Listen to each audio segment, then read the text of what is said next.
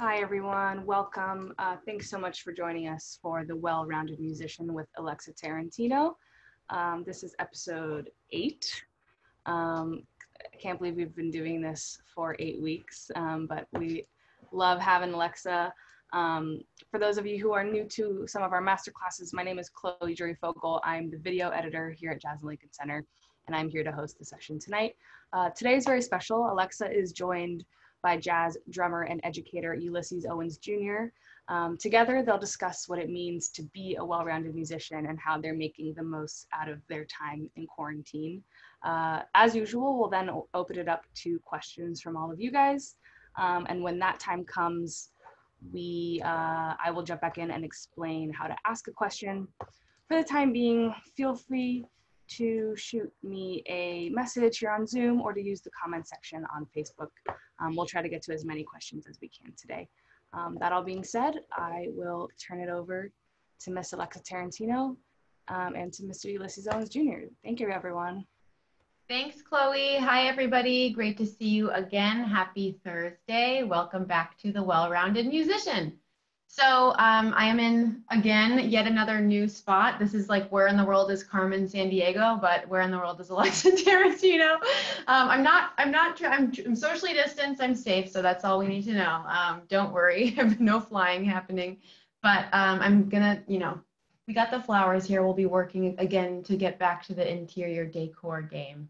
So I'm super excited to kind of turn over a new leaf with Well-Rounded Musician and start this new phase of bringing in guest artists. I just felt like you all had heard enough from me and it was time to get some new perspectives and to bring in some of my best friends, colleagues, mentors, and heroes. And um, this guest is all of those things for me. Uh, Ulysses Owens Jr., an amazing drummer, educator, music director, and just ambassador um, for jazz and for being a well-rounded musician. Um, I met Ulysses at the Juilliard School because he was my professor uh, in the small ensembles there. So we had a blast through that, and I learned so much. And I'm very fortunate to um, work with him in a couple of different settings in his big band and a new quintet that he has called Generation Y. And he's got a lot going on, so I want to welcome him in. Hi, Ulysses. How you doing, Alexa? Good. Good to see you. You too. You too. Oh, I miss you, and I'm so glad you're doing well, and I'm glad you could make it. Um, and I know that everybody here is going to be so happy to hear from you. I'm honored to be on here, seriously, and so proud of you. Thank you, thank you so much. So, um, the past several weeks, I've just been sort of spilling all my tricks and tips and tools in terms of um, being ready for anything that comes at you in creating a freelance jazz career. And I feel like you are one of those people um, from working with Christian McBride to Kurt Elling to Joey Alexander, and then going on to just create your whole like whirlwind of projects as a band leader. Um, maybe you can just tell us what this quarantine has been like for you, just like maybe from the beginning, what you've been up to, how you're making the most of it. Sure. Um, so yeah, first I, I kind of will talk a little bit about being a well-rounded musician. Um, I think to your point, um, I feel like if you want to be a successful jazz musician or a successful creative artist, you have to really learn how to multitask and you have to really learn how to be essential you know which is to me so incredibly important these days. Um, because obviously those that are working right now are essential to society and i think there are things as artists that we can do to kind of shift our art from a place of just being art for art's sake to really fulfilling an, an essential need. So um, you're right on it. When i saw that uh, sort of advertising on jazz.org and saw that you were doing this i thought it was really important because i think those that are going to really sustain and make it in their careers are going to be those that really figure out how to navigate their talent and again put it in society. And even what Wynton tells us you know i remember one time in a faculty meeting he said hey if you really want to make it you got to figure out how to take your instrument stand in or, or sit in a room and transform the room and then you know uh, by virtue of the, the world. So yeah that's been incredibly important. In terms of quarantining um, man i started i think about march 12th i was actually on spring break and i was preparing to come to florida and hang here for about a week and then go back to juilliard. And i got the call that i had to stay in florida or stay wherever i was. I was not even permitted to, to walk back in the building. And it was really unfortunate because you know we were right at that place where i feel like my ensemble we were really gelling and we were kind of getting ready for some more concerts. And then I was getting ready to sort of send off, you know, three of my students into the real world. So I will tell you that um, I had to first figure out how do I reformat my curriculum because we now had, you know, a whole new set of guidelines um, and even accreditation rules that we had to kind of shift so that those that were pursuing their degree and finishing all of this stuff made sense and that it qualified, right? So that was really important. And then I would say it really made me a better teacher because I had to figure out how can I make my students feel my presence and also my commitment to them through a screen, you know? Um, so that was really interesting and it, it allowed us to actually, to me, be better. All of us, I became a better teacher and educator and they became better students. I would also say I ended up being in Florida and figuring out, okay, first of all, what do I do? Because I had to stay in my house. And you know, people like us, we're always like all over the world. We I always say I have ADD.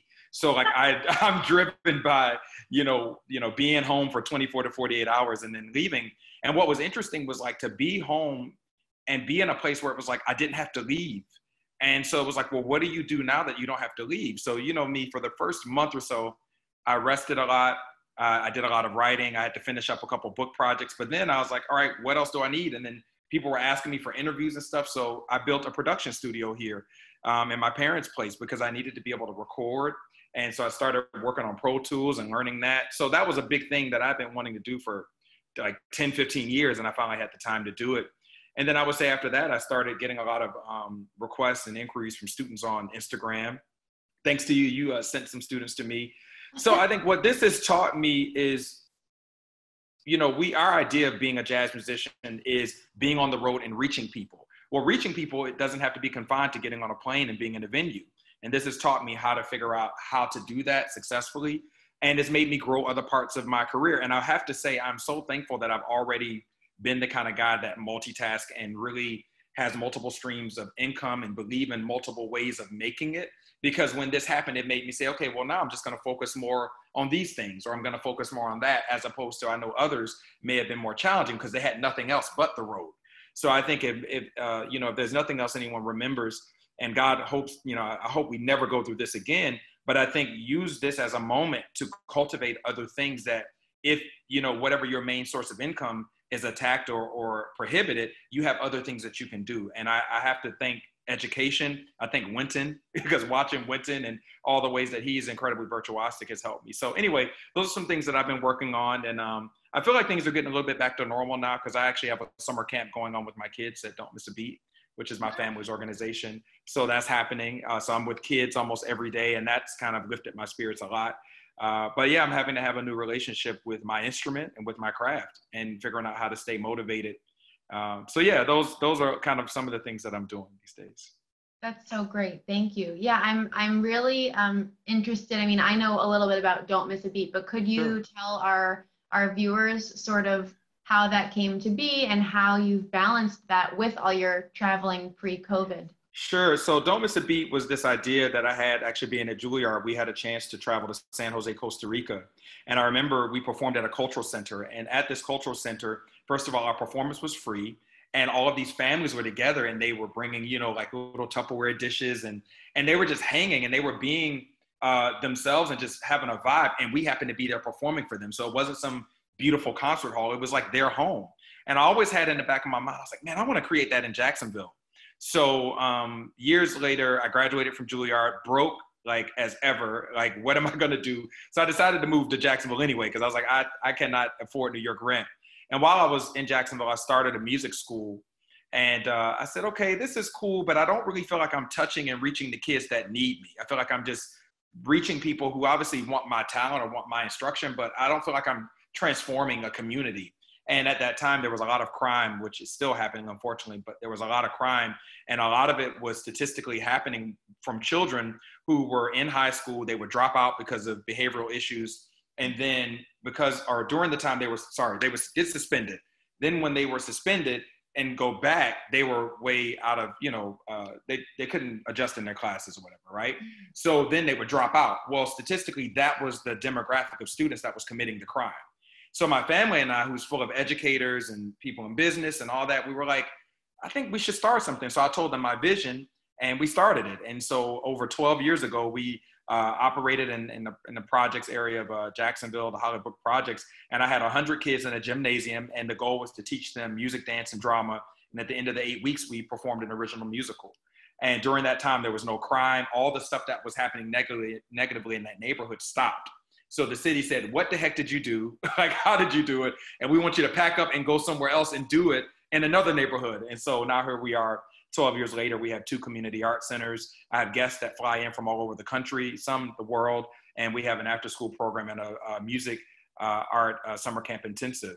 And it's amazing. And, you know, we have a lot of great partners. And um, I always say it's what makes my heart beat because it's one thing to play on a bandstand and, you know, make people feel good in a club or a concert, but something about that is very selfish to me because it's like, you know, look at me versus when I sit behind a desk or I go to a parent teacher meeting and help one of my children, I feel like that's my purpose. So it's really cool. In terms of balancing it, it's hard. I mean, I actually love the quarantine because it's given me a chance to really just be Mr. Owens, the educator and artistic director, and really be there for the kids.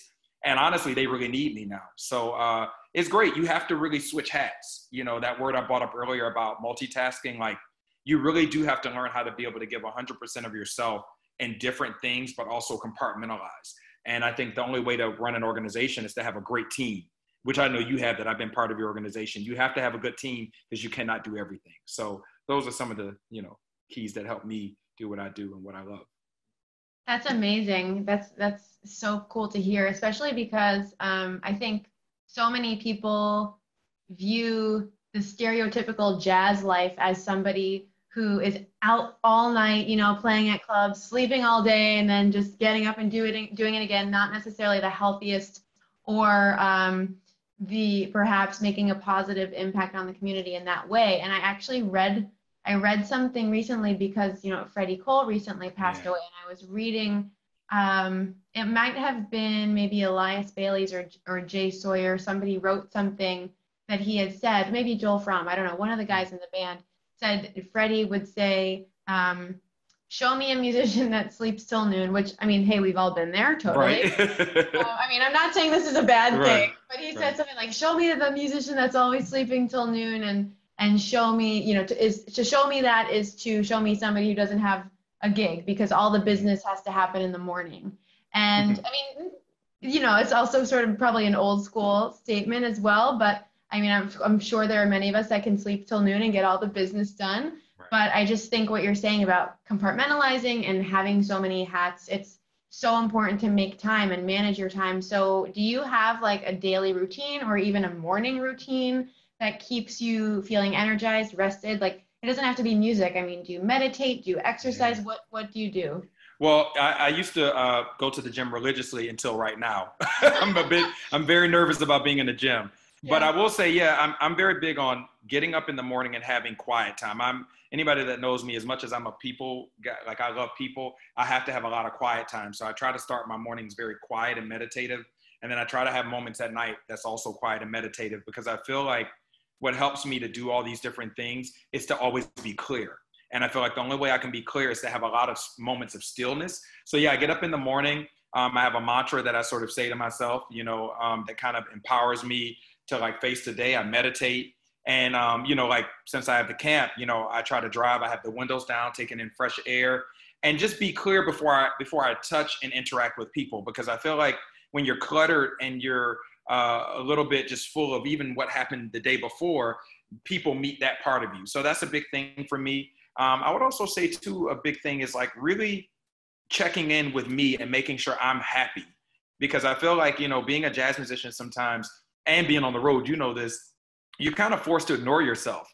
You're kind of mm. forced to be like, oh yeah, I have a headache, but I got a gig tonight. Or, you know, this is going on with my family, but oh, don't worry, I got to be on tour. So you almost have to ignore your reality to face your reality, right? And so I really try to make sure I check in with Ulysses every day and just say, okay, dude, are you are you happy? Like, are you cool? Like, are you like, is everything good? And if and if the, the answer is no, I kind of make mental notes of like what's wrong and is it something that someone else did or is it something i can do so that's a big thing for me and then i have a to-do list and i have a, I actually just started using my alarms on my phone even more during the day because I, my schedule started getting really cluttered where even though I have a great calendar and I'm very diligent about my calendar, I had so much other stuff that was kind of slipping by. So I now do alarms as well in addition to my calendar so that I'm really on top of it. Um, and then every night before I go to bed, I look at what's going to happen the next day. I'm like, okay, what is, you know, what do I need to do? Is all that cool? And then I try to do weekly like uh, meetings with myself. Like, okay, hey, what what do I want to accomplish next week? What do I want to accomplish in the next two weeks? What about the next month? And even during quarantine, I did this. Like literally, I had nothing at all. But I, but for me, I don't do well with no structure. So even when everybody was just like the biggest event of their day was going to the grocery store, for me, it was like, okay, I'm going to go to the grocery store, then I'm going to come home and write this and do that. So I think for me, creating structure is what helps uh, me. But yeah, starting and ending my day with clarity and meditation is very key for me. So. That's great. Yeah, I really resonate with that as well. Um, and so, uh, one question that I would get from the viewers of this show a lot, because I am always telling people about mm.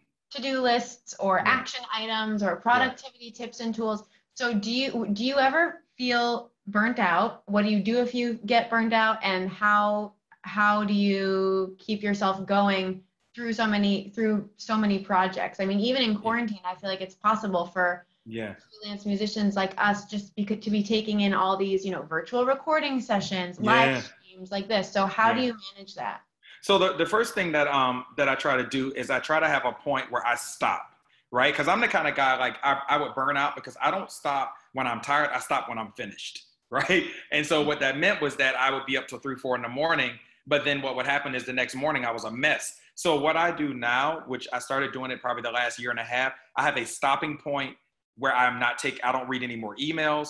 I don't, you know, if it's a personal text, that's one thing, or I'm on social media just doing, you know, scrolling on my friends friends pages, that's one thing. But I try to stop my work stuff, you know, at a certain hour. And I'm just like, hey, if I didn't get to it today, I'm going to get to it tomorrow, unless it's something that's an emergency.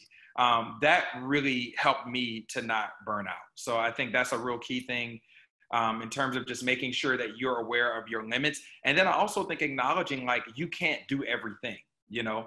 Um, and then again, just delegating and having a team. Like you, you know, even though I'm nowhere near like a Wynton, but I literally have a team, whether it's you know someone to help with design for this or someone to help with you know assistance or someone to help with this don't miss a beat i mean i have a I have a staff of like 30 people, you know, and, and so so a lot of what I'm able to do is because I have teams of people that can make things happen for me. And I really try to make sure that they work with the same level of intensity and have the same love for what they do as well, because I'm only one person, you know. So mm-hmm. yeah, but I, I, had to start building those stopping points because otherwise I was I was killing myself. yeah. yeah, yeah, totally. So do you have any advice um, for students that are either you know graduating in this crazy time or wanting to move to New York and be sure. professional musicians? What do you think in terms of like being well-rounded? Um, what types of skills would you look for if you were going to hire somebody for one of your bands? Sure. Um, I, I want to answer that. One thing I forgot in the last uh, question, you talked about how to manage to-do list. I wanted to to say, oh, yeah. I I create different to-do lists, right? So there's actually a thing I have. It's called. I'm embarrassed to say, but it's called like a kill sheet, and like so like my kill sheet is like literally like that has to happen today, right? Then there are things where it's like, all right, that can happen in a week or this can happen over time. So i think what creating like a, a, a sort of a, a, execution or kill sheet for me was here are these like things that like you cannot avoid. And it was really great when i started being able to determine unavoidable things versus things that had time. Because when i was burning out everything was like i have to kill everything i have to make everything happen. And it's like no no you really don't. Like some things have to happen today and some things can wait. So i just wanted mm. to uh, help people realize that they can do the same with themselves um, is create sort of unavoidable and things that need to happen now and then long term. In terms of being well rounded and things that people need to do now, I think people need to understand first what are they great at. I think this is not the time to to try things out, and this is going to probably come across a little insensitive because I know like there's part of the world that says, "Oh, you can be anything you want." Yes, you can be it, but will you be successful at it? And for me, I'm in the place of my life where I want to only do things that I'm really, really good at. Now I have hobbies, right? I have things that I'm working on, like writing is a hobby for me. I, you know, have my blogs, but that is not something that I make a living off of, right? What I make a living off of is being a drummer and being an educator. Same with you, right? You're an amazing saxophonist. You know, you also arrange and write, and you're an amazing educator. So I think right now we need to really focus because I feel like before COVID, everybody, especially with social media, we were building these brands that had all these things that we were doing, and we most of us didn't do all of that stuff well. So I think mm-hmm. right now we need to focus on what am I great at because right now it's feast or famine. And then I think we have to really figure out what is our direction? Like what is it that we want to do and then that informs where we want to go. So I think right now is a time to really retool and reassess, but I think we have to lead with what we are undeniably great at and then go from there because I feel like if you don't do that, then you're going to literally slow down your process of being successful because you're almost putting in time in an area that's never going to get great. And I, have I've seen so many people do that. Like they'll, instead of, you know, really focusing on this, they also want to do this and something else. And I think you should only multitask once you have really mastered something, right? Like by the time you and I started running a camp or started running other things, we had already been to Juilliard. We had already gotten to a point where we had achieved a certain level of success, and not even just success, but affirmation of our talent. And I find that a lot of this new generation, they're pursuing things and not even being affirmed. And then before they get affirmed and even get a level of mastery, they're moving on to something else. And even one of my friends just said to me the other day, she said, some, you know, she heard one of her students saying, Yeah, I'm really worried about my brand. And she's like, Would you just learn how to like be a dancer first before you worry about your brand? So I think to me, what I'd love to see us do is focus, focus on what we're great and also really get back to mastery because I think that's going to be the real dividing line of those of us that are really able to like excel and those of us that just kind of meander or wander, you know? So yeah. that might sound harsh, but no, I hey, I love it. You know me, I'm okay with that. yeah, right. oh, sorry, and you and you did ask me what do I look for. Um, I think what I look I look for someone that is really like, for instance, when I met you, you were in my ensemble class, and I never forget, even at where we go, where you went to school and where I teach, there's still levels of of intense, uh, intense focus, and you were always focused, you were always on time and then you also could really play. And then the other thing, and the reason why I hired you was you are a team player. So like you're a kind of person that no matter the different levels in the ensemble, like you're on a really high level of just how you play and how you operate, but you also can help others get to the next level. And I've always been a person that was never always the best guy in the band, but mm-hmm. I played with other people that got me to the next level. So I really like to build my bands in kind of a multi-tiered approach where everybody's great at something, but they may not be great at what other people are great at. So I would say I really look for somebody that can really play and then also connect their talent to the audience because I'm I'm I'm an audience guy. I want people to feel better when they leave my shows. So yeah, those are a couple of things that I, I look for, and then that that spark. I want I want everybody in my band, even with Gen Y, like everybody in the band, even though they all have very varying personalities, they all have something. you know, you know, they all have something really unique, and they have something that is special. So I, those are some things I look for. No, that's that's so great, and I I can't wait to get back on the road yes. with that band. Yes. Oh, gotta get those matching jumpsuits. So and face mask. and face mask. oh my god. So no, I think yeah, that's it's it's great to hear just like where you're at, and I'm sure that everyone who's in that that boat is feeling inspired. Um, so at Jazz at Lincoln Center this month, the the hot topic, the key word is freedom. Mm-hmm. And Wynton and Jazz at Lincoln Center have been posting videos every day centering around this theme. And I know you have your project, Songs of Freedom, um, and the album came out a year ago. Yeah, over a year ago. Yeah. So can you tell us about that and just what the inspiration was for the project, um, how it's been received, what you're what you're up to with it, and yeah. and. Sure, I'll just I'll speak, uh, you know, sort of quickly about it, only because I, I do want to say something about freedom. What I'll say about Songs of Freedom, Jazz Lincoln Center actually provided the space for me to to develop it. I always had this dream of doing something focusing on um, Abbey Lincoln and I always loved Nina Simone. And so when Jason Olaine came to me and said, "Hey, we're doing a show that presents 100 years of song, and we, we want you to take 1960s to at that time it may have been 2015." And I was like, "Well, Jason, I wasn't even alive half of that that time, so um, it was me and Riley Mulherkar. I'm like, first of all, Riley, like Riley's a baby to me. He had the 1900s to the 1950s, and I had 1960s. I wasn't even born. I'm an 80s guy, right? So so what I decided to do was again focus And I wanted to take an era and a decade that produced a level of artistry that inspired everything else that happened afterwards. So I decided to stay in the 60s. And so again, I thought about Abbey, I thought about Nina. And during that time, which literally we're in the same time again, there was so much police brutality. There was so mm. much um, lacking uh, uh, of justice, particularly for African Americans. So I was like, all right, we're fighting for freedom. So I want to do Nina, Abbey, and you know, with those two as angry and passionate. So I was like, I need to get somebody that's a little softer. So I focused on Joni Mitchell. So I basically wanted to take the three of their songbooks and careers and pick things around freedom. And so that's how Songs of Freedom was born.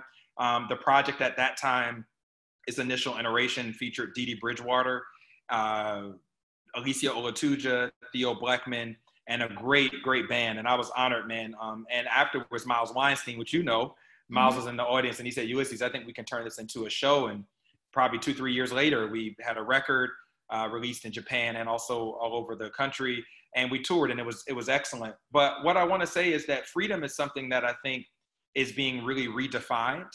Mm-hmm. Um, I think before, especially as an African American male, uh, freedom is, is first cultural, right? It's like, I want to be free as a black man. Well, what does that actually mean?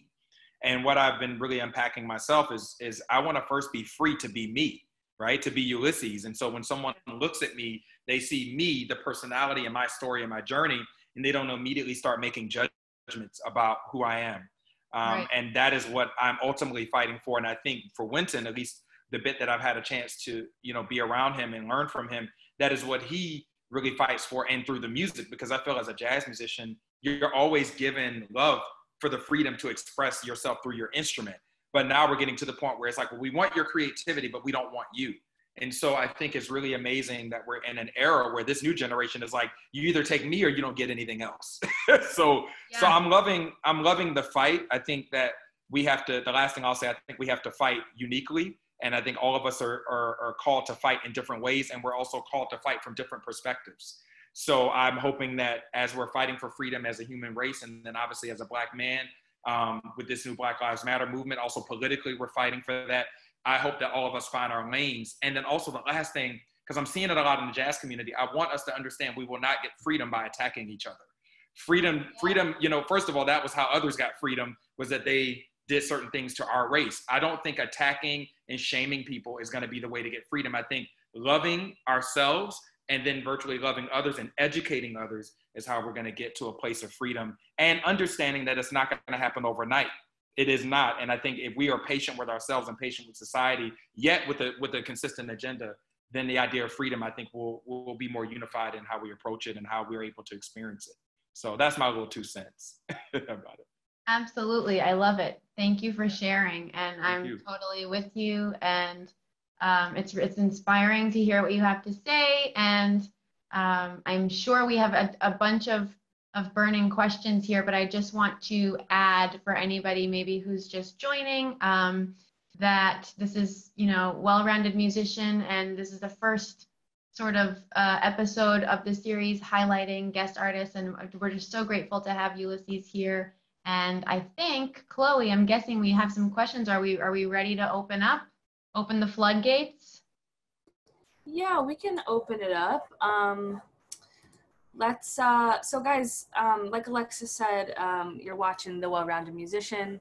Um, if you're new to um, what we do here, we love hearing from you in person. Um, so if you're here in Zoom and want to ask a question, please feel free to use that raise hand function. Um, if you hit the participants tab at the bottom of the screen and then hit the raise hand button, um, you'll pop up for me and I'll unmute you so you can ask Alexa or Ulysses a question. Um, okay, we have a first question. I believe you pronounced it Kieran. I could be wrong, but I think it's Kieran. Am I right? Right. Yes. Kieran, uh, what's your question? Uh, sorry, I just want to say quickly hi, um, Alexa, and hi, Ulysses. It's good to see that you're both doing okay. Um, my question being a young musician in this current time, trying to work on your playing and trying to learn as many things as you can, do you think that working on your online content creation skills is something that's a necessary thing to be working on during this time? Go ahead, Ulysses. Oh, okay, cool. Uh, well, first of all, it's kind of what I said earlier about uh, the branding thing, right? Like, I think if you're at a place in your career where you know, if you're already gigging and you feel like you're out there and you, you know, people are hiring you and you're professional, then I think you can, let's say, split it maybe 50 50, like try to develop your brand and your online content. But if you're at a place where you're still very basic and your fundamentals of playing, I think the online content creation needs to kind of play second fiddle because, you know, what you don't want to be as a person that's promoting mediocrity. So, like, you know, if you can't play a bebop scale or if you can't really swing and really like hold it together, I think you need to spend more time on that. And maybe your your content creation is around getting better as opposed to promoting yourself and you're not really ready because then everybody's seeing you and you really still got some ways to go. So I, you know, if you're, you know, if you're base, if you're still in a basic place or fundamental place, I would probably do like 70, 30 or, you know, 80, 20 in terms of 80% focused on just getting better and being a better player. Because ultimately, once you're better, everybody's going to start seeking you out to work with you. Yeah, I, I, um, I agree. I think a lot of people are turning to social media maybe a little bit too much. Like I notice with myself that I can feel burned out so easily, even just from scrolling or whatever. So um, I try to use it as a tool for good. So if I'm if I want to get some online content, I really try not to just like pick up my horn to create something for Instagram, but I try to pick up my horn, be in a practice session, be working on, you know, something over Stella by Starlight whatever it is and then say okay this is what i'm this is a snapshot of what i'm working on today and then use that as my if i wanted to post something. It's not just coming up with things for the social media platform but just trying to keep it as genuine and really focused on the music as possible sort of like what ulysses is saying. Um, thanks kieran. I hope that helps. Yeah thanks kieran um, great the next question comes from bob hey bob Hey, I had to unmute myself there. Hey, Hi, Ulysses. How What's up, Bob? I, I, am. I hope you love my perch high on the Whitney Art Museum tonight. It's right out of New York. But um, seriously, though, I'm, I have no hopes of becoming a well-rounded musician since I uh, uh, fled the alto saxophone. Well, actually, I was evicted from the alto saxophone many years ago. But I do have uh, something that I've encountered with so many uh, jazz artists that I know in terms of being well rounded. And almost all of them are deeply engaged with other aspects of the arts, whether that's visual art, painting, sculpture, uh, drama, uh, film, uh, literature, poetry, reading. Um, and I wondered if either of you could comment about um, what impacts those might have. I mention this because clearly when when when people are students and when they're young, you know there's such a relentless intensity on focusing on your music. But more often than not i encounter musicians and this is true in my own profession in radio and in college teaching as well that sometimes a, an extremely narrow-minded focus can lead to really being cut off and not being inspired by other things so i'll i'll be quiet now and let you guys comment if you have any thank you yeah, go ahead, you. You got it. Man, man I, I love art. Like I, I've gotten into it even more. Like I have a mentor. He's a great uh, chef and art lover, Alexander Smalls, and um, I've been friends with him for probably four or five years, and he has helped me to start building my art collection. Actually, you know, and you know, sometimes I, I sit in front of a painting in my house, and and I get so much from those paintings or even how I design my, you know, my the place, like you know, things I put in there because I really believe in energy, and I believe that art sends energy to you, not just music or not just you know the uh, you know um, moving art like you know dance and, and drama and all that. So absolutely, I I mean probably in the last two years I've become really uh, driven by by art. So yeah, I, man, I I got to have art in some way all the time, twenty four seven. So. Nice. Yeah. And I think uh, I was just, we were just sort of talking about some other artists earlier. I was mentioning um, Cecile McLorin Salvant, who I just was speaking to on a live stream earlier today. And she's a perfect example of somebody who's into visual art and textiles and all of that stuff. And I, we asked her this question of, um, do you try to keep things separate or do you try to bring them all together? And um, I mean, she should really be saying this, on me, but she'll, I'll, you know, pass it along. She was saying now she's really she used to keep things separate and now she's trying to really try to let everything inform each other and i think for me um, i'm I'm sort of like with music and then education, and I, I'm not really like in the whole other visual art or uh, you know literature or writing poetry world. But now, especially in quarantine, I'm like you know out for a walk, looking at the trees, and I'm like, oh, I should I should like write a piece of music about this. This is so nice. Like it's so peaceful. It's so calm. You know, there's all this inspiration that I think being busy in those other fields, you know, was kind of getting pushed to the side so um, for anybody kind of in a mainstream and maybe with their blinders on, I think you can find inspiration to get involved in other avenues. In you know, it's it could be right in front of you and you might not realize. Great. Thank you, Bob. We appreciate you. We appreciate Yeah, all you Bob. for us. Bob is- Absolutely. Thanks for spinning the music, man. I appreciate it. yeah, baby. Yeah, thank you, Bob. We appreciate you. Thanks, Bob. All right, our next question comes from someone you may know. This is a question from Warren Wolf. I'm not taking that question.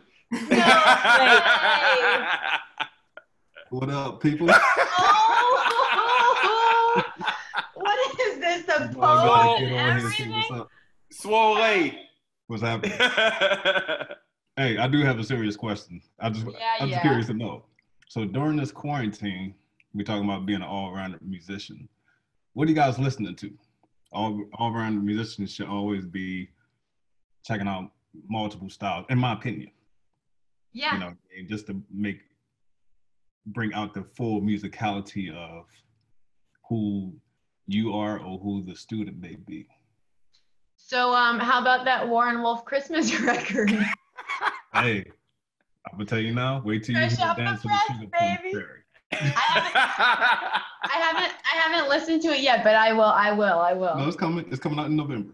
Oh, okay. I listened to your the one that you put out when I last saw you though, hmm and I I like need to that. that. Go ahead, you. Go ahead, you. What do you? What are you Yeah. up to? I, it's funny when he asked that. Um, we always did that on the road with uh, with McBee. They always like, "Yo, what you listening to?" So I'm looking through my recently added uh, things, and they're like random. So uh, "Bigger Love" by John Legend, his new record. Uh, Christian Sands uh, had some tracks released from his record. Um, there's a group Iron and Wine, and checking them out.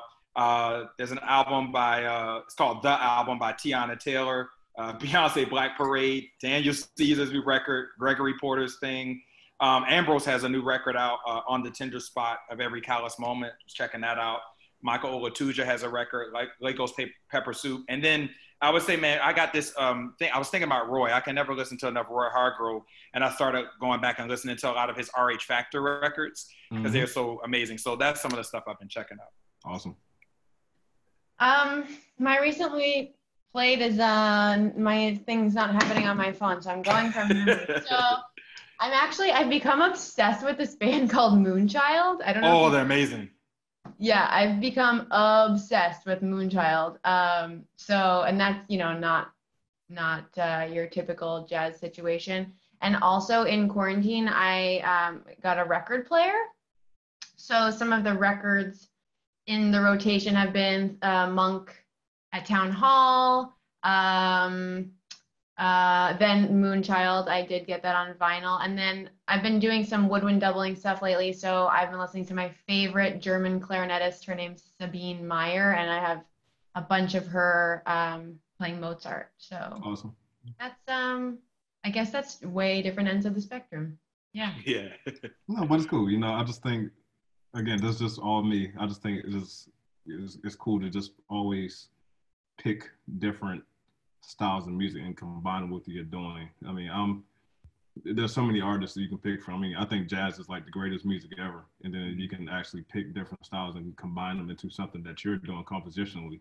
You know, you never know what could come out. Just the sky's the limit.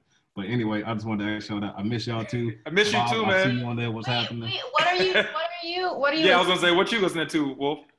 you don't get honestly- out that easy. I'm Yeah. gonna, I'm gonna be honest with y'all. I mean, it's I've been listening to a lot, a lot of rock music. really? Yes, but it's not like crazy rock. It's more like, to be honest, some of this music that in, in rock music, you know, it's it's tricky if you really zone into it. It's a lot of odd meters.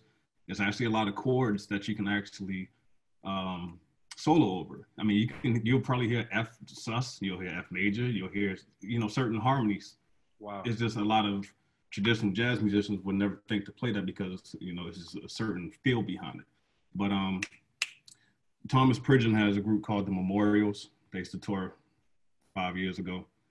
Um, that's mainly the one I'm listening to now. And uh, one more. There's a guy named Kiefer. Mm. Kiefer is this pianist who lives out in, uh, I guess he lives in LA.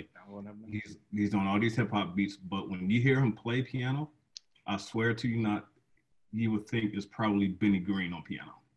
Wow. This dude is flowing easily, nothing but bebop patterns, but in a in a hip hop way. I don't mean like the other person in hip hop that we all love. I'm not gonna say his name on here. but you know, that's a whole nother subject. But again, I gotta go. Okay. Thank you, Wolf. I miss y'all. Bye. Miss, Miss you too, man. See y'all soon. All right. See ya. Yeah, brother. Later. Thanks, Warren. All right, uh, let's take a question from Cynthia. Hey, Cynthia. Hello, I'm Hi, Cynthia. Cynthia. hey. I live in Seattle. Hi, I've really been digging your uh, webinars. They're on my calendar every Thursday night, and uh, it's a great way to be learning and uh, staying inspired. And you've inspired me to be learning uh, Autumn Leaves in all 12 keys on saxophone and piano. And so, Awesome.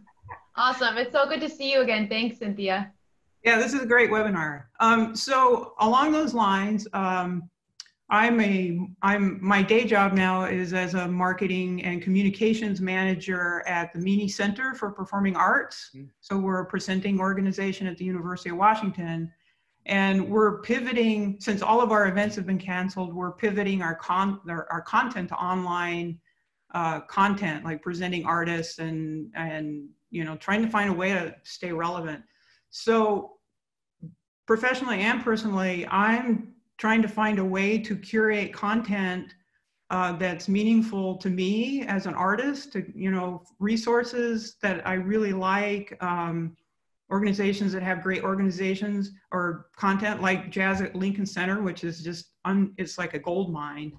Um, so I'm just wondering if either of you or both of you have um, resources or go-to places that you love to for content like berlin philharmonic is awesome um, and and what if you pay for it if, if it's free and and if you have learning resources that you really dig or concert or you know like what sort of resources do you go to in quarantine online and not including social media Well, I'm going to pass that to our featured guest because I Uh, have to think. Well, I mean, it's interesting. Um, you bring that question up, Cynthia. I, I kind of feel, and this, it may sound weird. I, I really feel a little bit overwhelmed actually by so much of the content right now because I feel like everybody is trying to pivot and everybody's pivoting kind of in the same direction. So um, I've actually, other outside of uh, social media, I really haven't been taking in any additional content because I, I feel a little bit overwhelmed and I kind of feel like everybody's like, look at this and look at that and check out this and check out that. So it's kind of hard to know what to to look at. Um, I will say that I obviously I love Jazz Lincoln Center. I've done a few things recently with uh, Monterey Jazz Festival, um, Purdue Convocations. I really love Open Studio Network. I'm part of their artist roster, but what I love about it is I feel like they give things that really help musicians to get better, and it's very targeted. So I would say the kind of things that I really love are are really like, like targeted to like helping musicians. Or like the other day, there's a great Brazilian drummer, Rafael Barata, and he just posted the most like coolest video the other day with him and Rosa uh, Rosa Rosa Passos, a brilliant um, uh, Brazilian artist, and it was just the two of them like playing together. And I man, I was like in the grocery store like checking that out. I couldn't stop watching it. So I think what what I love is either stuff that helps you be a better musician or really unique performing um, opportunities that put together people that otherwise wouldn't come together.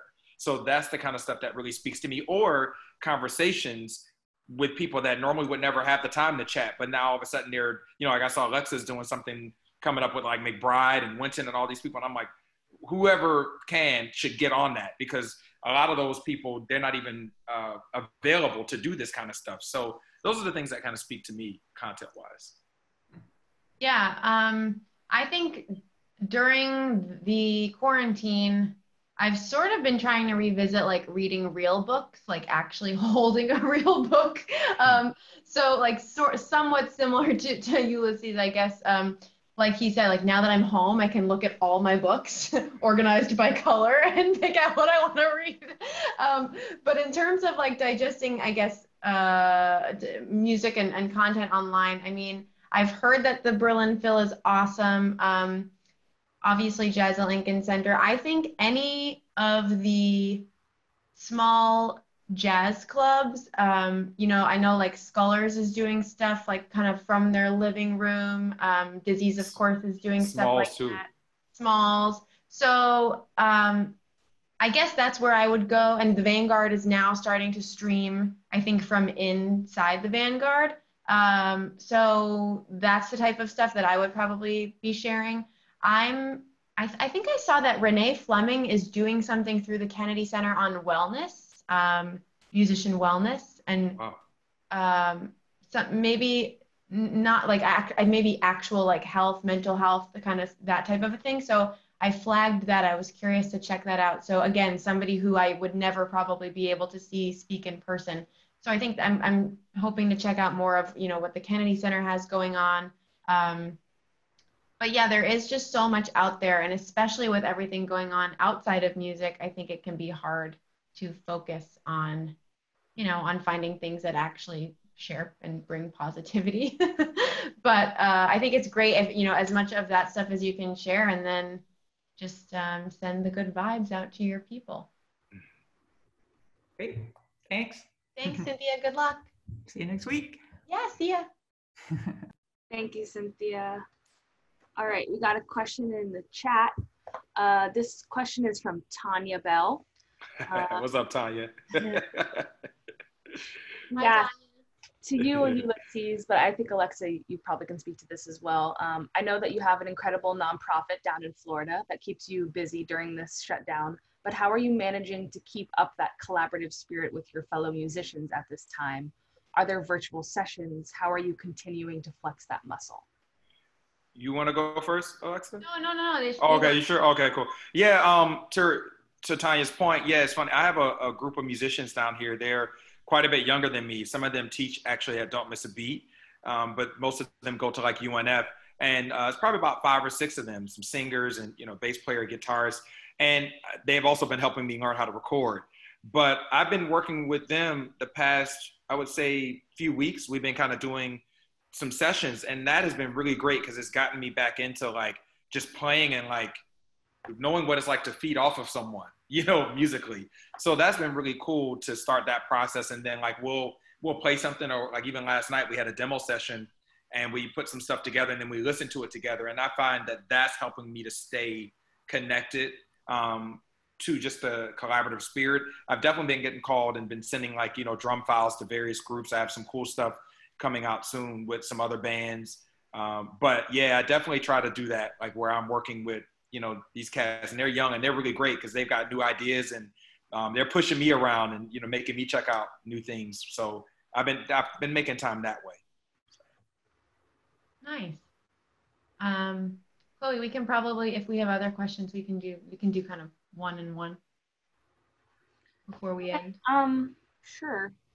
We have a couple more. Um, this question's from James Hancock. Um, he asks, what are some good strategies for getting back into playing? I'm assuming that's meaning like if you haven't played in a while or uh, if you haven't played during this time. Hmm, okay. good, good strategies for getting back into saxophone playing or just playing music in general. Okay, sure. Um, I'll take that that one. Um, I guess it depends. Um, I would have to know more about your situation, but I would say just do it. just dive into it.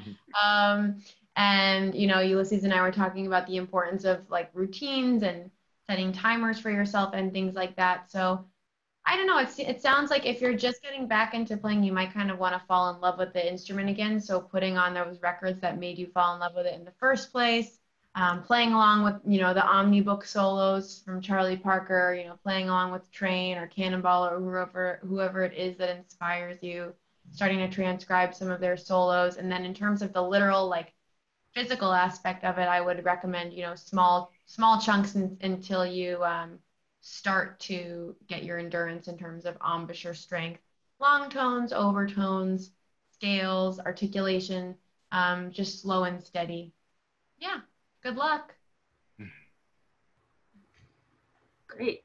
Thanks for your question, John. Um, or sorry, James. Um, okay, let's get another. We're back with Kieran. Let's ask get another question from Kieran. We don't usually allow two questions a session, but we'll make an exception for you.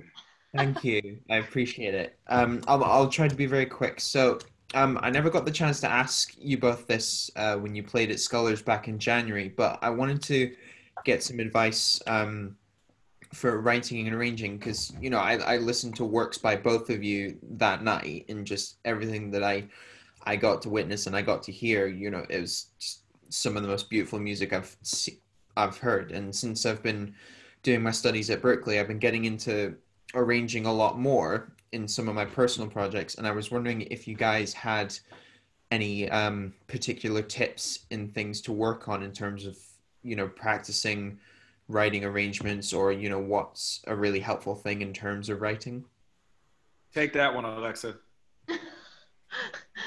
um uh ooh okay so similarly to you know how i was talking about getting inspiration from anywhere um i think you can really you can create a melody with just a couple of simple things. You know you can pick three pitches. If you i find that it's easier to improvise and create something when you have an actual restriction or parameter on what you're doing as as opposed to it's like when you go to a buffet and you have like seven types of chicken that you could eat but if the menu just has like two different types of chicken then i might be able to decide a little bit easier. So for me, I like to do um, some exercises, just either challenging myself to stick to a couple of pitches. Maybe I come up with those pitches from some other type of inspiration. Maybe I heard a rhythm, um, you know, going along with my like nature walk type thing. Maybe you hear a bird play a particular rhythm or sing a particular rhythm, and you can take that and create something out of it. Um, maybe you're really like into this particular sound and um, you can try to take that in the particular uh, chord or alteration or something and you can take that and stretch it a little bit. And i and i think i work best um, you know not just sitting down and like writing for five hours but sitting down and writing for like 20 minutes and just seeing what happens and leaving it and then revisiting it the next day 20 minutes seeing what happens and then like you know after maybe a few of those sessions i start to really get somewhere and then maybe i'll get deep into the zone of like not wanting to leave the piano for a little while so I would just say small chunks. Um, sometimes putting parameters on yourself can actually inspire more creativity than you'd think. Can, can I add to that, Alexa? Yeah. Yeah. So one of the experiences I, I had you talk first because I feel like you're an amazing arranger and you have you have the chops and the technique. I feel like what I learned, especially in a lot of other bands, was also check out a lot of music. You know, like I never forget like when I was on the road a lot with McBride, like he was always listening to music and and he it then by virtue made us listen to a lot of music and we would sometimes listen to the same music together. And it'd be interesting because then we go to like a sound check or something and i do this with gen y after us listening together then we'll come up with an arrangement. So i think sometimes arranging is yes what all those things that alexa said but the other part of it is incredibly organic as well where you know you're checking out herbie or you're checking out you know Mwandishi or whomever and then you're like man i really dig this man, let's try to put together an arrangement like that. You know, and and I've seen that happen with a lot of bands, and we've even done it in our Yeah. short time with Gen Y. You know, sometimes after playing and then like being on the road and driving, we get to the bandstand. And it's like, man, let's let's sort of pull from that. So I think it's even more organic than like this kind of way of like, okay, I'm gonna do this, which is good. You should have that, but the other part of it should just be you need to take in a lot of music, and the more music you take in, that gives you ideas as well. So I just wanted to add the other side to Yeah. Kind of what Alexa said. Yeah, totally. Totally. I love it. Thank you, Kieran. Thanks, Kieran. Thank you. All right, we got two more questions I want to try to get to before we have to wrap things up as Great. we're getting to 10 p.m. This first question is um, from Trish. She says, I have a high school age daughter. She is a clarinet and sax player and she would like to double. what advice do you have to prepare her for college? She likes composition and performance, books, schools, or any other advice for her daughter Lauren to prepare her. Sure, awesome. Um, welcome and thanks for asking, Trish. So uh, if she she plays clarinet and saxophone, then she should also probably pick up the flute. Um, saxophone and clarinet and flute are sort of just a trio these days in terms of what you would need to know as a working woodwind doubler. Um, there's a really great book by, for flute by Marcel Moyse, M-O-Y-S-E, first name Marcel, M-A-R-C-E-L, and the book is a French title, De la Sonorité, um, D-E-L-A S-O-N-O-R-I-T-E. And so I love that book uh, just in terms of getting your flute chops together. Um, clarinet, um, the rose etudes are very important. Um, I would encourage her if she wants to play jazz, listen to jazz flute and clarinetists. Um, there are so many. Hubert Laws, Frank Wess are some great flutists, flautists, uh, jazz clarinetists. I mean, today there's Anat Cohen, and all, you can go all the way back to Benny Goodman or Barney Bigard. Um, there's just such a wide range. So if she wants to dig into the different kind of eras of jazz styles, that would be also very effective in terms of just understanding the range of things. And um, yeah, and you can also feel free to reach out to me um, with any other questions, um, saxophone related. Great. There you go, Trish, and good luck, Lauren. Um, all right, let's get a final question from our friend Les Rose. Hi, Les. Hey, Les. Les is our frequent flyer. Woo! Flyer. Oh. Hey there. Oh, I muted you and then you got muted again. And I and I had such a great opening line. you know, timing. Timing is everything.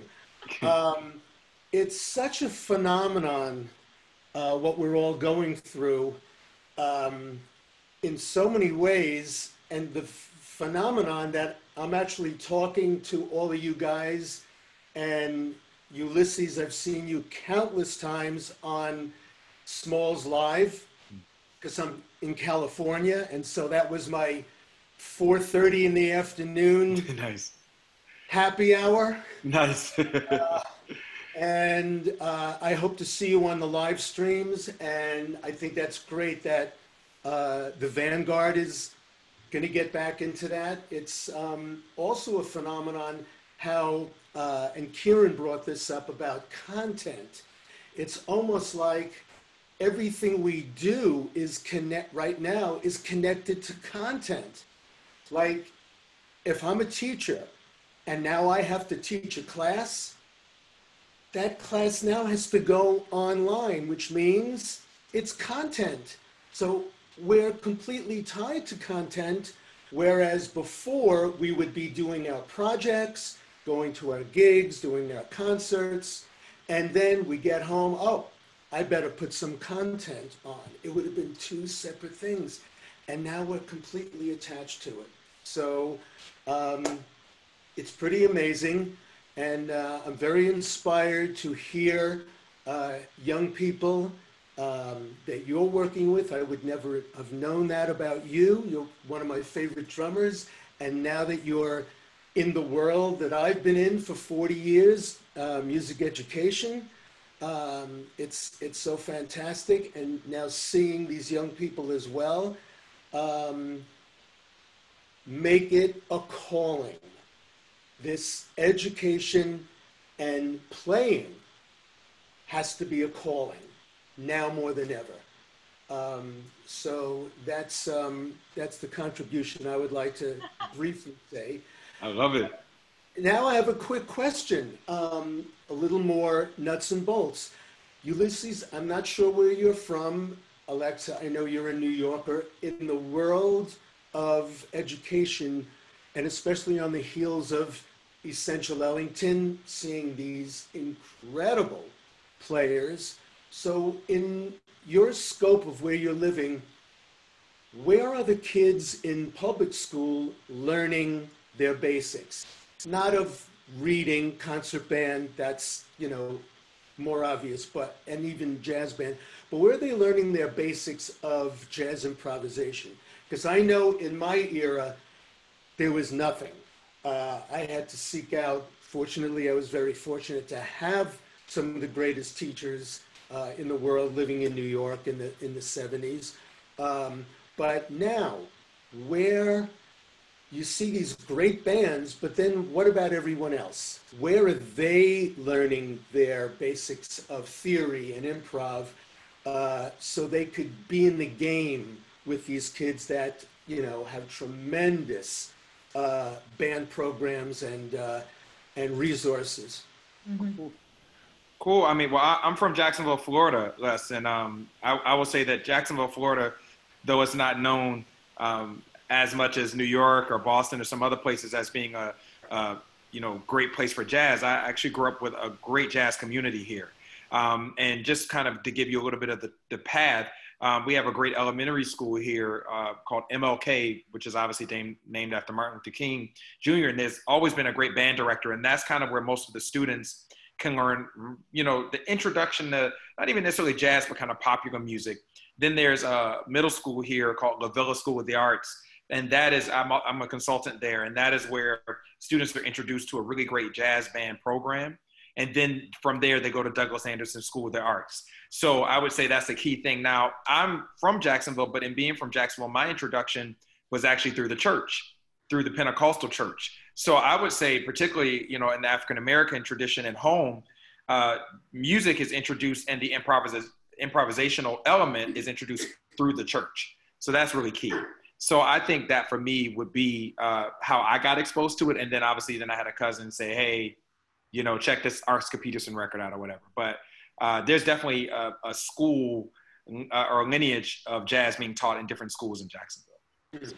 Mm-hmm. That's a sounds like a phenomenal uh, community, and when it starts in elementary school, now you have a fighting chance to yeah. really go go all the way. And my, my goal for my students was simply play in college. Mm-hmm. Maybe not major in music, but keep playing in college for the enrichment, for the enrichment. And, and many of them do go on well beyond.